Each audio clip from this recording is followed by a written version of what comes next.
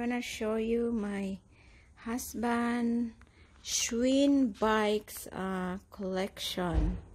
So he collected this when we were at Illinois and now we're here in Arizona so we're trying to get rid of it because we have no place to store and right now we are in the storage uh, we're renting a storage so look at these guys they are really old Schwinn bikes.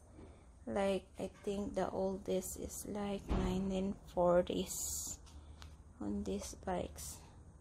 Really nice uh, collection of Schwinn bikes vintage bikes. Uh, if you're familiar with this uh, brand they are really well-known brand here in USA and yeah we got a lot and we already sold a lot of them too. Um, right now we are trying to sell this so we're selling this online. We have posted to ebay and OfferUps, uh, Craigslist, and other uh, websites. Yeah, and this one, this is already sold, and somebody wanna gonna pick this up this uh, week.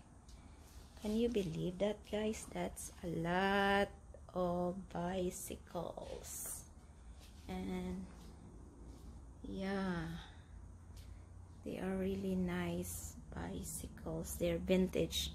They're not china made. Uh, they're made in chicago where that's the original uh, where they make these bicycles. This yellow is really cool. Looks really nice. And you have lots of blues. I have one a blue one uh, women's uh, Schwinn bikes.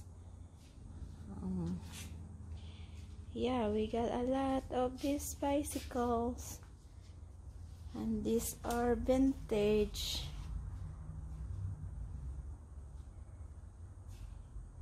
That's all for now guys. Just wanna let you know our collections.